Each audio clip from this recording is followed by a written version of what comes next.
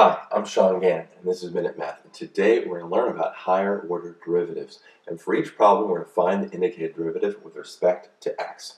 So if I was given this problem, y equals a negative 4x, and we wanted to find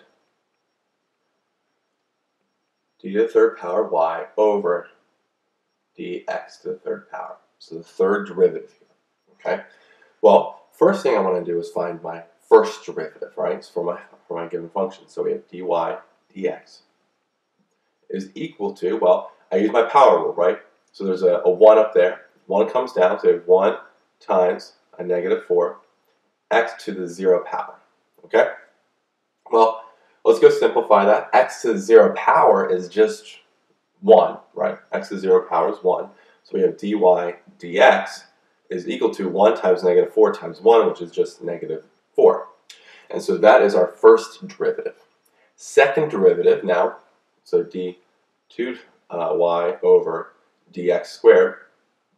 Well, negative 4 is just a constant. It's just a constant there. And so the derivative of a constant is just 0. Okay?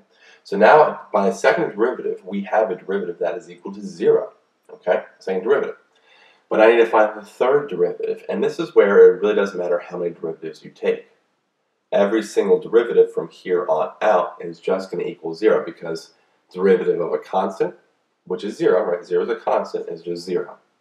And there we have it, our final answer. The third derivative of y is 0.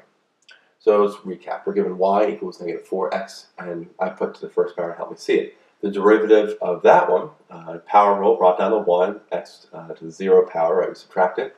Uh, and then we simplify that, can be 1 times negative 4 times x to 0 power, which is, is just 1, is negative 4. Take the second derivative from there, and uh, since this is a constant, derivative of a constant is just 0. So we got that, the second derivative is 0. And then from there on out, we're just keep the more every single derivative we take is just going to keep equaling 0 because we're taking the derivative, derivative of a constant, which is 0. And so our final answer is d to the third power y over dx uh, to the third. Ooh the third right there, is equal to 0.